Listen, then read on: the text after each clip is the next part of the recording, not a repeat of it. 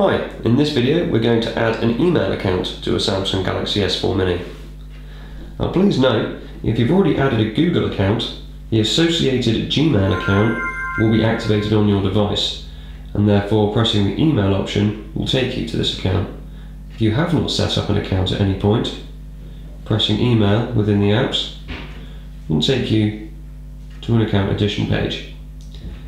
If an account has already been added, you can add a new account through the settings menu from the accounts tab.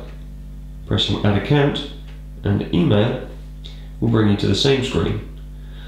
You can use any valid email address from any account, so that includes any Gmail account, Outlook account, Yahoo account, or other accounts that you may use.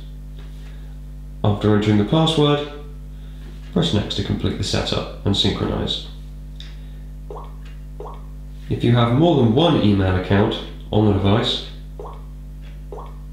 when you enter the email option, you will have the ability to switch between accounts. Thanks for watching.